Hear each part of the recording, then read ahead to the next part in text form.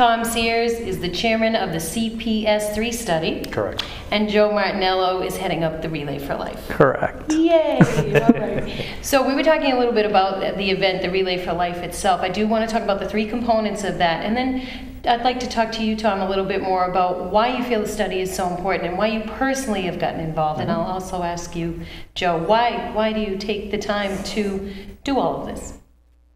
You're not going to do that on camera, are you? You're going to get us all emotional today. well, you don't have to say Uh, too much if no. you don't want to. But I mean, honestly, we're very busy people these days, and you know, a lot of us would like to get involved with things, but sometimes we don't do that. And I'm curious to see what really motivated you to get involved with this cause. So, an athlete in town invited me to offer up a donation, and I attended my first relay because, opposed to just offering up a donation, I wanted to participate. I felt I could raise more money if I reached out to my network of people.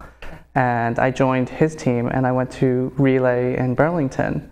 And I remember walking the track during the Luminaria ceremony with my wife, going, why don't we have this in Wilmington? This is perfect for our town. And I have a unique skill where I've been doing event management in some capacity in my professional life. And I felt I could take those skills, work with the community members, and bring the event to Wilmington. So I wanted to leverage the skills that I had to help. Excellent. And obviously, cancer, cancer impacts many people's lives. It's impacted my family's life. Um, many of my, well, not many, extended family members have been impacted by it. We've lost some, some of my family members, and some are still battling it today. So if I can give back, I want to.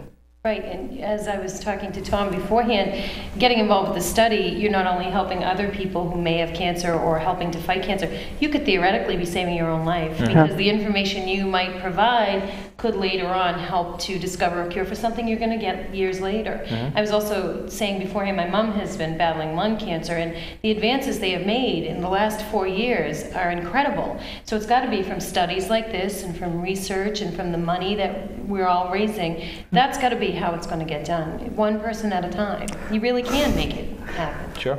Uh, I'm chuckling a little because you're using some of the terminology I use with the participants. It's one dollar at a time, one person at a time. It all adds up. Right. And obviously, your cause, when we look at the website, it tells us where the money goes. Can you speak a little bit to where some of that money is going to go that we do donate or that we get from the different things that we do for the event? Yeah, it goes into uh, services for patients, it goes into research, um, it goes into various services locally that, that, that are offered up as well. So um, there's, the, there's a ride service where you can get a ride to your um, treatments. Um, they also have uh, the Hope Lodge is in Boston as well. So it's a location where families um, can go to if they don't have, if they don't live in the area or near the major hospitals where they can stay.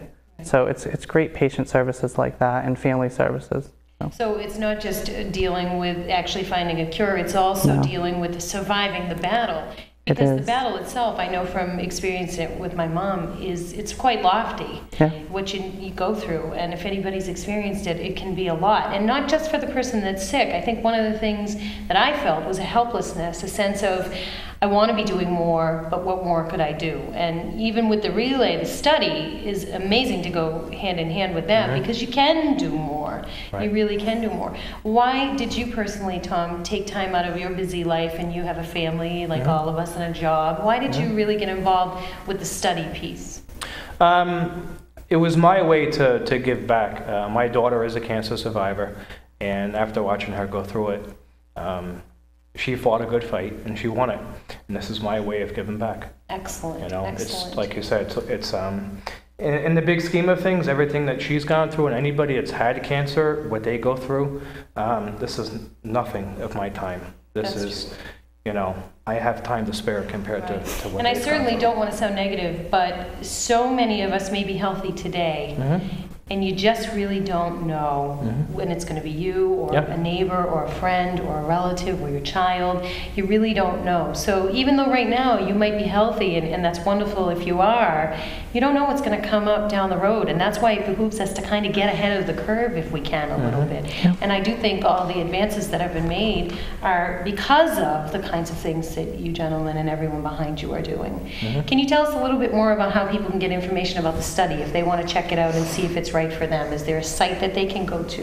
I think it'd be easiest if they went to the Wilmington uh, Relay site. There is a link there, I believe it's on the left-hand side of the page, Okay. about three quarters of the way down. That would, you can then link on, or click onto that link, which brings you to the CPS3 uh, site, and any questions that you may have can be answered right there on that site. Uh, Do they have an idea of how many people they want for the study? Or is it going to Yep. be our whole town, or how's that going to work? Well, uh, AC, American Cancer Society, their goal is 500,000 people nationwide.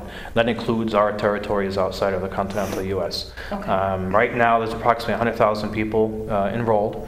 Um, Wilmington's goal um, is 300. I- I'd like to see 300. Okay. Um, our goal, as you saw last year with Relay, Right. um, look what we did to that. Right. Um, I can definitely see us doing more than more than 300 people in this Do study. we know demographically, is a tough question, so I Mhm. understand if you're not prepared. Do we know demographically how many eligible people there are in Wilmington? If everybody that was between 30 and 60 would sign up, how much do you think that would be people-wise?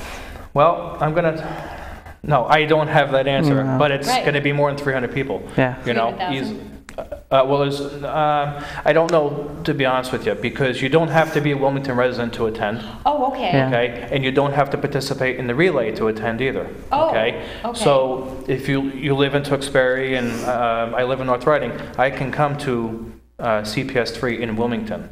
Um, This. Really it- good, I really like that. Yeah, and I don't have to participate in Yeah. Relay for Life Wilmington to The reason participate I in the like that study. idea is because it makes the study site, if you will, the demographic Mhm. more broad. And I Mhm. would think the more information they can get from the more communities in this area, the better it would be. Mhm. I think it would make the study more broad for them. Yeah, the neighboring towns around us are not hosting this, and this is, this is history in the, in the making for this town. It really is. You're not going to see this ever again in this town. It's only going to happen this year, and myself and Joe and you can tell our future generations, hey, I participated, when CPS 4 comes out, hey, I participated in CPS 3. You know, now it's a family affair. Now they get involved in CPS 4. You know, there's, there are, there is, um, history that shows that there's families out there that participate in CPS 2, and now they're participating in CPS 3. Those three generations of families that are, that Right. just keep it You know, going. another point too is we don't know what other illnesses might be cured from this too. Because correct. there is information that could come from this study that could be used for many, many things. And of course, we, we want to mention again, your anonymity is protected, so Mhm. nobody has to worry about that. But there are other illnesses that have been cured from studies that weren't even related to the study they originally began. So the parameters for this are limitless. What Yeah. can be done with the information is limitless. That's correct. When CPS 2 started in 1982, um, in 1996, they found that secondhand smoking causes lung cancer. And they also found. Um, I could have told them that, I think. Yeah. without the study, nice As a non-smoker, I could have told you it was bad Right, for you. right, right. Um, and they also found that um, obesity um, and cancer were hand in hand um, through CPS2. So, um, and it was um, a direct result of CPS2 that um, the Surgeon General then said, we need to Right. start putting warnings on cigarette Right, and labels." that's what I was going to say. I mean, we're, we're joking about it, but really, that's how Mhm. policy, public policy is created through proof, because you know how resistant we are as a nation to make any kinds of changes. So once you've got proof to back up these findings, then people start to sit up and take notice, which is, I think, what you're really going for here. Mm-hmm. So you're really critically getting the word out. You want to tell as many people as you possibly Absolutely. can. Absolutely. I mean, I, if, if we can prevent another type of cancer, you know, why not? Right. You know, I mean, if it's this simple, it really is. It's a half an hour at relay and 45 minutes a year, every other year. It's so simple. Why not? You know? Right, I can't see why you wouldn't. I mean, you can, mm-hmm. you know, do it while you're watching Where's Wilmington. Sit down with your pen and fill out your study. And I assume you mail it back to them. They must tell you where it goes. Yep, it's absolutely. Pretty user-friendly as far as that goes. Yep, absolutely. Excellent, Yep. excellent. Have you actually looked at the questions on the study? Yes, I did. What kinds of things are on there? Well, one of them I found interesting um, is uh, it asks, as a firefighter, it asks, how much alcohol intake do you, do you consume? Um, Do you smoke? Hmm. Right. Do you exercise regularly? Um, what kind of a diet do you have? Um, what are your hobbies? And the anonymity thing is really crucial for Yeah, this. absolutely. Because, you know, if you're going to be Yep. honest, you would want to not have That's right. people know who you are when you're And, saying these and, things. and not to um, have any any false um, hopes, but um, we're not going to be able to detect through your blood work or your survey if you have cancer. We Right. will not be able to determine that. That is up to you to continue your Well, that's a very good. annual screenings with It's a your very doctor. good point to make, Yeah. because there could be some confusion about that. I- I Yep, can see yep, that. this is not a cancer detection, it's a cancer prevention study. Anything else we need to know about CPS3 that you really want to drive home before I talk to Joe a little bit more about Mm-hmm. the components of the event itself? Um, that, uh, I can't stress it enough, that it's, it's prevention, it's about prevention, it's about hope, it's about giving back to survivors. It's only gonna happen this one time in, in Wilmington, and that word of mouth is gonna be the best advertisement for this to be successful. Um, so tell a friend, phone a friend, email a friend about it, um, and go Right. onto the website and And we're find out going the to see information. you all over the community. You're going to be in the Probably. newspapers, you're here on Where's Wilmington. So we're going to see a lot of you, Mm-hmm. a lot of your happy face. And what about uh, the three main components of the event in the last couple of minutes? Joe, let's talk a little bit about that, and then let's give information where folks can get involved if they want to sponsor, create a team, what have you. Tell us Okay. a little bit about those three components. Yep, so we start off with the survivor ceremony. It's fitting. Um, we bring all the survivors together. Uh, we present them, we have them sit up front so everybody can um, see who the survivors are involved. And we have a speaker, a survivor, speak to the entire audience about their experience. And they talk about their personal experience with um, their battle with cancer. And at the beginning, after the story's told and the ceremony's um, finished, we then take all the survivors and we bring them onto the track and they lead the effort for the first lap. So what we did last year is we had them walk halfway through. Uh, they got through halfway through a lap and we had their caregivers waiting on the other side. I'm going to Which- thanks a lot. Okay, and Which then is you fitting, have the second piece, Yeah. which is the, The Luminaria which I ceremony. think is going to be neat. It's That's really neat. it's it's it is it's It's, uh, interesting. lit up candles in little bags It that that is, you have at it's- sunset, and that represents what? The The- lights represent? Well, the, the lights represent that, um, uh, the lights are representative of the people who have battled or passed on from cancer. So what we do in that ceremony is we take somebody who has lost someone or who is somebody battling from cancer and we have them speak and give their perspective of what their experience has or is with um, cancer. And then the third component is the relay itself, right? Well, no, the third component is fight back. Um, we have a ceremony at the very end, and the fight back ceremony is about advocacy. What are you going to do today to prevent yourself from getting cancer? I'm going to sign up Which- for Tom's study. Yeah, exactly. Immediately. There you go. Um, That's excellent. Where can folks get more information if someone wants to be a sponsor or provide something at the event or sign up for a team, or I know your study information is there too. How do we do that? Go into the website, wilmingtonrfl.com. It has everything you need on there. It has information for sponsors, what our different packages are, um, how they can give back, whether it be monetary or product and services. Uh, we, we heavily d- are dependent on the businesses in Wilmington to make this a success, and they came to us last year in an amazing manner. Our percentage was only 3% of our, ex- our total funds raised went back to expenses Excellent. due to those businesses. Anything final either of you would like our viewership to know before we close today? Yeah, last year we in 2009 were named the number one new relay, community relay in New England.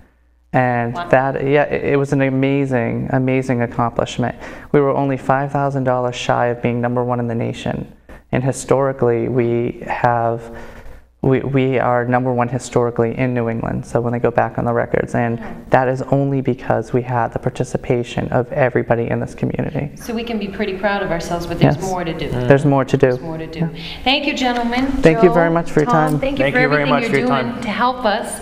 We really appreciate it. Who knows? The sky's the limit. It is. It'd be wonderful to take some of the cancers off the radar if we could do that, and this is one way to do that. I want to thank everybody for watching Where's Wilmington today. Get involved. Go to the website. Come down to the event, which is going to be June 18th and 19th, right here in Wilmington.